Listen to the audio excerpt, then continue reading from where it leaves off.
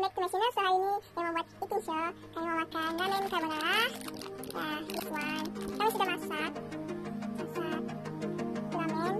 Sama fry ramen sebut Kami juga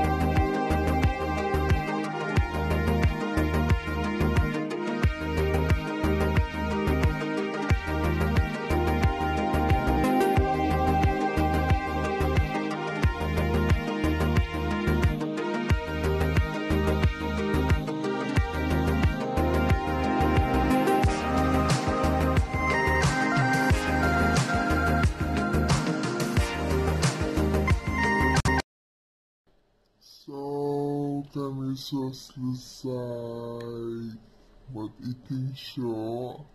Alah, makan simpel-simpel aja. So, itu aja untuk perbincangan kali ini. So, rasa dia memang sedap. Siapa yang suka ramen tapi nggak suka pedas, boleh try ramen carbonara. Tidak bisa cheese and creamy-creamy. So, memang oke lah. Tapi kalau siapa suka yang pedas, try yang satu lagi yang baru, berisi mala sama tut dan spicy sama So, itu saja. Thank you.